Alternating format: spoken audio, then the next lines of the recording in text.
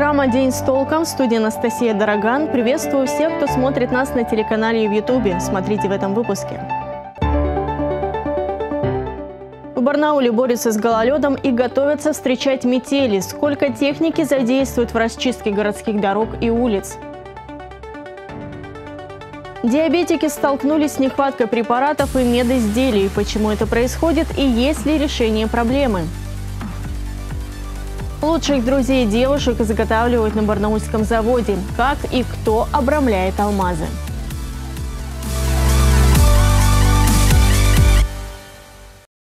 Жесткое ДТП произошло сегодня в Барнауле. Автомобиль врезался в грузовик, снес столб, после чего перевернулся на крышу. Авария произошла на улице Космонавтов. Ее зафиксировала одна из камер видеонаблюдения. Запись опубликовали в социальных сетях. На кадрах видно, что во время обгона легковой автомобиль на большой скорости врезался в грузовик. Из-за неудачного маневра машина вылетела на обочину и перевернулась от удара об столб, который в итоге упал. О состоянии пострадавших на данный момент неизвестно. В усиленном режиме бороться с гололедом будут в Барнауле в связи с экстремальным прогнозом погоды из-за приближающегося снегопада. Оперативное совещание сегодня провел глава Барнаула Вячеслав Франк. На следующей неделе синоптики прогнозируют умеренные снегопады, при этом под слоем снега остается лед, что довольно травмоопасно. Обеспечить порядок на улицах города для безопасного передвижения призвал сегодня мэр Барнаула – он отметил, для этой цели задействуют 59 единиц техники и 130 дорожных работников. Очищать будут не только тротуары, но и автобусные остановки, дворовые подъезды, а также кровли многоквартирных домов. Диабетики в Алтайском крае столкнулись с проблемой выдачи лекарств и медицинских изделий. Так к нам обратился житель Барнаула Алексей Поступайленко, которому пришлось за свой счет покупать некоторые препараты для своей дочери. В таком же положении в конце прошлого, начале этого года оказались еще сотни родителей. Почему так происходит, выясняли мои коллеги. Тот, который, да. Вот. Красная зона, да. Иди конфетку съешь. Красная зона значит пора поднимать сахар в крови. После коронавируса у Софьи диагностировали диабет. Теперь каждый день она под наблюдением папы Алексея. Мне пришлось уволиться с работы, а жена работает. После приобретения помпы девочке стало проще посещать детский сад и в целом передвигаться. При снижении показателей она сама указывает в приборе, сколько единиц инсулина ей сейчас нужно. Но поддерживать стабильность непросто. По словам Алексея, периодически препараты и медизделия выдают с задержкой. Так, в декабре они не получили тест полоски и инфузионный набор. Выкручиваются как могут. Меняемся, где-то просроченное покупаем. Но вот сейчас осталось вот на 4 дня, я не знаю, где сейчас вот эта упаковочка, ну, тысяч 10 стоит 15. Если сенсоры покупать, вот это все, ну, это, ну, до этого было 30 тысяч в месяц в 22 году. Ну, а сейчас, наверное, 40-50. На Алтае больше 100 тысяч человек с сахарным диабетом, и наш край лидер в Сибири по росту числа заболевающих. В региональном Минздраве проблему с поставками признают. Причины могут быть разными. Например, сталкиваемся с проблемой несостоявшихся торгов. Более 30% закупочных процедур признаются несостоявшимися с первого раза, ввиду отсутствия заявок от потенциальных поставщиков. В этом случае специалистами Минздрава направляется информация в медорганизации края о необходимости смены проводимой терапии и проведении аналоговой замены указанного препарата. Руководитель Краевой диабетической общественной организации Марина Ермилова говорит, что перебои случаются стабильно 2-3 раза в год, и люди покупают препараты за свой счет. Но если сохранять чеки и судиться, деньги можно вернуть. Но вот статистика организации. Из 100 опрошенных родителей детей с диабетом половина никуда не обращается. Так как у моего ребенка и у меня, в частности, есть судебное решение, и как только подходит срок к тому, что нужно получить все необходимое, про таких пациентов сразу же вспоминают и их обеспечивают. К сожалению, наверное, это мне не очень нравится, тенденция и такой подход. Мне кажется, это только еще больше разозлит людей и спровоцирует еще больше поток обращений в правоохранительные органы, потому что это в корне несправедливо. А сенсоры? Ну, это Libra, а у нас, а у нас инлайты. нету, и вам карточки, как написано, и вам все прочитала. При задержках в поставках в пару дней Марина Ермилова советует звонить в аптеки. Если препаратов или медизделия нет пару недель, обращаться к правоохранителям. По информации Минздрава, закупка расходных материалов к инсулиновым помпам происходит по заявкам медорганизаций. Регион уже заключил 7 контрактов на поставку на сумму больше 40 миллионов рублей. Еще три закупки планируют провести в ближайшее время. Анастасия Драган, Владислав Ковалев. День с толком. Следователи предъявили обвинение 19-летнему барнаульцу, который бегал накануне с ножом по улице Матросова. Его обвиняют в убийстве своего знакомого.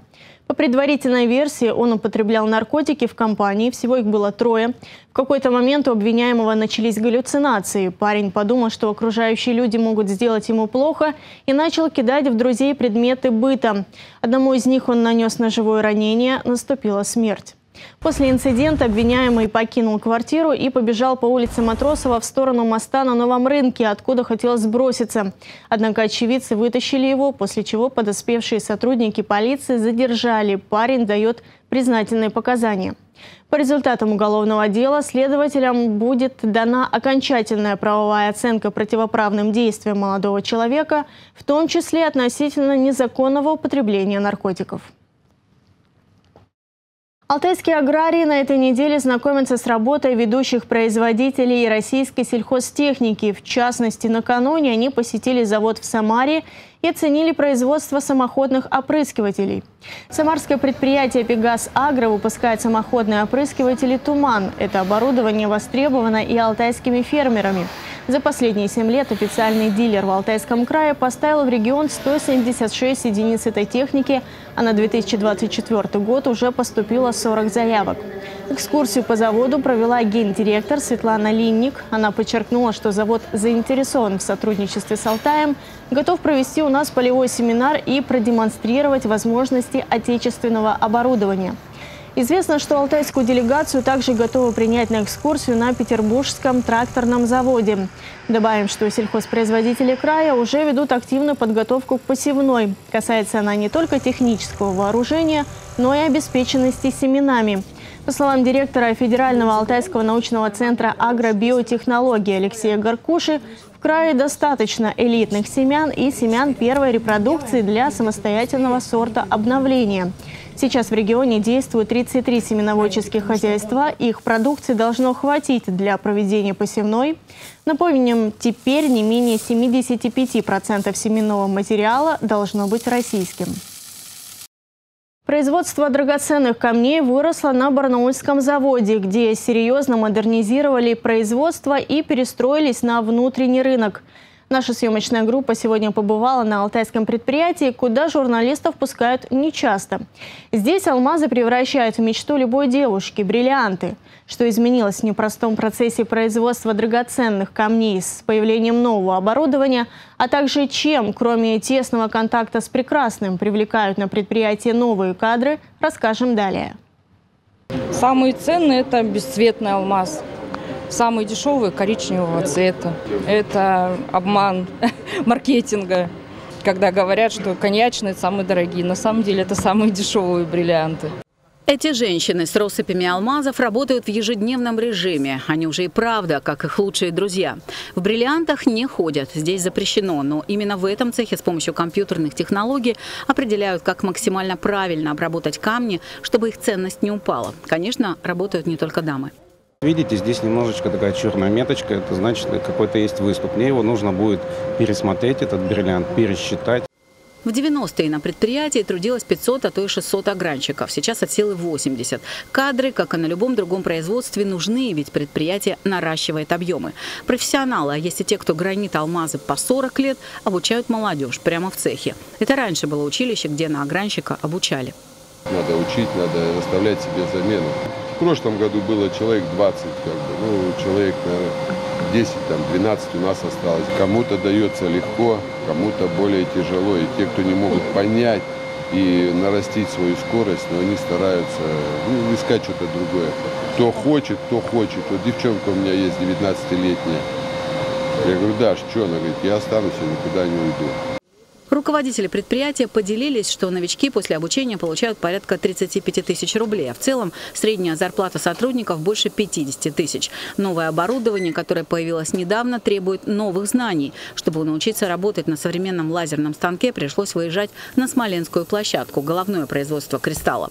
Основное достоинство этого оборудования в том, что оно фактически исключает ошибки ручного труда, то есть оборудование крайне точное, то есть там идет э, речь о сотых миллиметров точности. И также за счет того, что достаточно производительная система, сразу четыре операции технологического цикла он закрывает, то есть это подшлифовка, обдирка и распиливание, и черновая подготовка. Без ручного труда здесь не обойтись. И станки точно не заменят человека еще долгое время. Только огранщик с максимальной точностью может огранить полуфабрикат и сделать из него бриллиант 57-60 граней, в зависимости от задания. Но конечная стадия производства – это оценка изделия. На оценке сидят оценщики, высокие квалифицированные специалисты, которые э, визуальным методом оценки, э, то есть, опять же, не машина, не компьютер, визуально определяют цвет, чистоту. Бриллиант становится бриллиантом только на оценке. Самый маленький у нас 0,01 сотка. Ну, диаметр, если вы представляете, 1,4 миллиметров вот у нас индикатор. Ну, представьте, это как даже меньше спичечной головки. Это просто представить, да? Мелкий. Но самый крупный у нас был свыше карата. Сейчас такими крупными алмазами на предприятии не работают, поэтому в основном получаются мелкие бриллианты, но под микроскопом и они переливаются всеми цветами радуги. Как рассказали руководители алмазного производства, завод продолжит развитие и модернизацию. Стараются идти в ногу с мировыми трендами. Будет и новое оборудование. Предприятие, которое в 2020 году оказалось в глубочайшем кризисе, из него успешно вышло и уже в 2022 было на пике объемов производства. А в целом, по данным Министерства промышленности и энергетики, энергетики региона, прибыль организации обрабатывающих производств по итогам 11 месяцев 2023 года в сравнении с тем же периодом 2022 увеличилась более чем в полтора раза и превысила 59 миллиардов рублей. Татьяна Голубева, Дмитрий Денисов. День с толком. В Алтайском крае будут отмечать на один праздник больше. В календаре праздничных дат в этом году появится День промышленника. Его будут праздновать в середине августа. Об этом заявил региональный министр промышленности и энергетики Вячеслав Химочка. По словам руководителя ведомства, учреждение этого праздника станет достойной благодарностью всем, кто работает и работал на заводах края, развивая отрасль территории. А также подчеркнул, что идея его появления обсуждалась давно. Добавим, по темпам роста промпроизводства Алтайский край стал вторым в Сибири после Новосибирской области. Завершилось расследование по делу о физкультурно-оздоровительном комплексе, который строят на улице Сиреневая за 148 миллионов рублей. Как выяснили следователи, в течение года с 22 по 23 руководитель компании, с которой Минспорт заключил концессионное соглашение, договорился с подрядчиком о коммерческом подкупе в размере 3,5 миллионов рублей, а после частями получил от него 2 миллиона. Деньги предназначались на продление сроков строительства и предоставление авансовых платежей подрядчикам, а также подписание актов приемки работ, которые выполнялись на объекты. Спорткомплекс планировали сдать еще в конце 2022 года. В самом начале стройки работы оценивались в 155 миллионов, 125 из которых поступили по федеральному проекту «Спорт. Норма жизни». Дело передано в суд. Генеральный директор Российского общества знания Максим Древаль с рабочим визитом прилетел в Барнаул. В педагогическом вузе он встретился со студентами и активом краевого подразделения просветительской организации. Слово Юлии Щепиной. Я все еще тоже молодежь э, официально. Генеральный директор Российского общества знания Максим Древаль краевому активу и студентам педуниверситета прежде всего рассказал о значимости работы общественной просветительской организации. Мы э, ставим перед собой задачу э, увеличить престиж и значимость в целом просветительской деятельности. И это нам тоже удается. 43% э, людей, молодых людей в нашей стране, что особенно ценно, считают просветительскую деятельность высоко престижной, высоко престижной. И за полгода этот показатель увеличился на 11 процентных пунктов. Знания ежегодно проводят сотни мероприятий для молодежи. Выступления людей из сфер культуры, искусства, науки, истории, научные батлы, викторины. Снимает фильмы и помогает лекторам быть услышанными и найти свою аудиторию. Причем лекторы – люди самых разных профессий и возрастов. Кстати, иностранные граждане тоже принимают участие в проектах. Очень важными проектами является подготовка лекторов э, для взаимодействия с аудиторией. Аудитория разная. Это и производственные коллективы, это и силовые структуры, это и школьные коллективы, и студенческие. И подготовить лекторов для того, чтобы они могли корректно, правильно, доступно донести эту информацию, э, это тоже одна из задач эм, общества знания. Региональное отделение общества действует по всей стране в 89 субъектах Российской Федерации. Деятельность э, в Алтайском крае на самом деле очень обширная, потому что во всех федеральных проектах абсолютно э, принимают участие жители. И могу даже сказать, что регион входит в десятку самых активных, самых масштабных по просветительской деятельности, что, конечно, вдвойне приятно. На сегодняшний день краевым обществом организовано несколько площадок для проектов. Это педуниверситет, библиотека имени Шишкова, локации в Наукограде. Новые пространства для просвещения жителей в этом году планируют открыть в Славгороде, Камне-на-Оби и Рубцовске. Юлия Щепина, Алексей Фризин. День с толком. Больше 80 жителей края отправились в федеральную территорию Сириус для участия во Всемирном фестивале молодежи. Масштабное событие проводят на планете с 1947 года, и на этот раз Россия – принимающая сторона. Она берет на себя культурное шефство над гостями из четырех стран – Шри-Ланки, Венгрии, Малави и Бурунди. Всего же из разных государств приедет больше 20 тысяч человек – студенты, молодые ученые, добровольцы, спортсмены, медийщики. Подробности далее. Нам строить будущее, установка которой будут придерживаться делегаты фестиваля. К этой поездке пришлось готовиться заранее. Представлять страну всему миру – ответственная миссия. Сейчас, в период до фестиваля, мы проходим подготовку. А, нас обучают, а, нам рассказывают о том, как воздействовать а, на участников, как с ними коммуницировать, как правильно доносить ценности, доносить смыслы данного фестиваля, какие активности мы можем предлагать ребятам. На фестивале ребят ждут встречи с известными людьми из разных сфер, от артистов до бизнесменов. Но остается в секрете, что именно будет происходить. Однако ясно, что задача ребят после возвращения – делиться с земляками опытом общения с иностранной молодежью. На торжественные проводы делегации приехали участники фестиваля прошлых лет.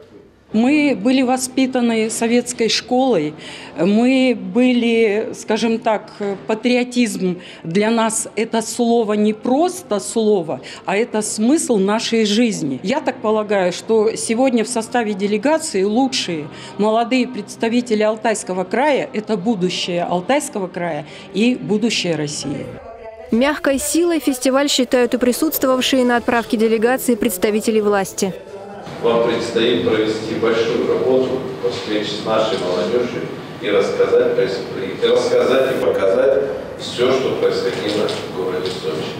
Ну а в городе Сочи вы должны показать всему мировому сообществу, что Россия – это миролюбивая Особенность этого фестиваля – его программа. Кроме рядовых мероприятий, она включает большой форум национальных кухонь мира. Особое значение имеет и формат культурного шефства. Но взаимодействовать я прошу вас особенно важно с теми, над кем мы будем вести культурное шефство. Это ребята из четырех стран. Шри-Ланка, Венгрия, Бурунди и Малави. Международное взаимодействие в молодежной сфере, в молодежной среде, которая вне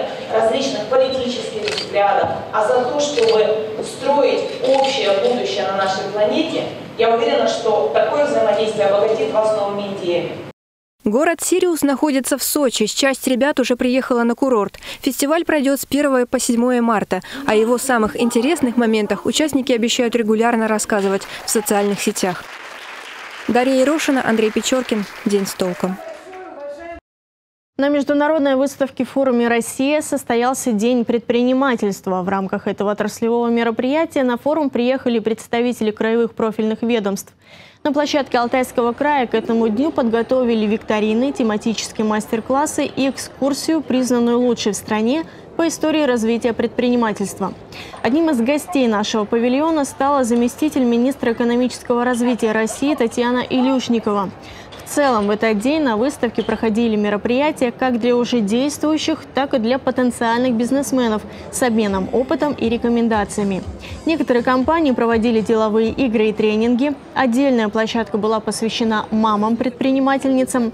А в одном из павильонов презентовали региональные инструменты поддержки МСП и инвестиционных возможностей. А на этом у меня все. Телефон нашей редакции 205 545. Через несколько секунд о погоде. Спонсор прогноза компания «Эвалар». До встречи.